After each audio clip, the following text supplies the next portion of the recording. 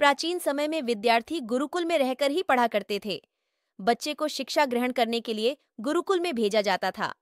बच्चे गुरुकुल में गुरु के सानिध्य में आश्रम की देखभाल किया करते थे और अध्ययन भी किया करते थे। वृद्धराज को भी सभी की तरह गुरुकुल भेज दिया गया। वहाँ आश्रम में अपने साथियों के साथ घुलने मिलने लगा। लेकिन वह पढ़न में बहुत ही कमज़ोर था।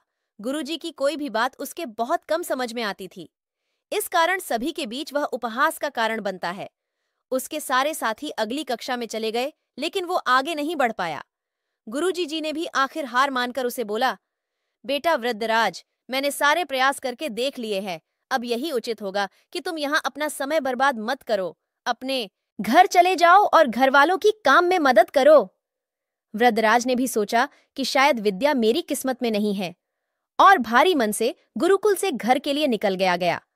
दोपहर का समय था। रास्ते में उसे प्यास लगने लगी। इधर उधर देखने पर उसने पाया कि थोड़ी दूर पर ही कुछ महिलाएँ कुएँ से पानी भर रही थीं।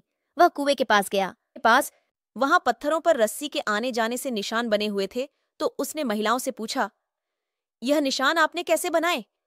तो एक महिला ने जवाब दिया, बेटे, यह निशान हमने नहीं बनाए। यह तो पानी खींचते समय इस कोमल रस्सी के बार बार आने जाने से ठोस पत्थर पर भी ऐसे निशान बन गए हैं। वरदराज सोच में पड़ गया।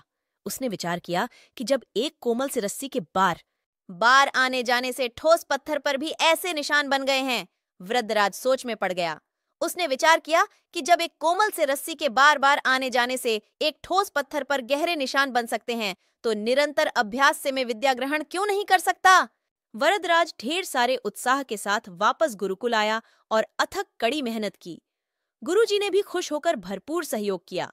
कुछ ही सालों बाद यही मंदबुद्धि बालक वरदराज आगे चलकर संस्कृत व्याकरण का महान विद्वान बना, जिसने लघु सिद्धांत कौमुदी, मध्य सिद्धांत कौमुदी, सार सिद्धांत कौमुदी, गीरवाण पदमंजरी की रचना की।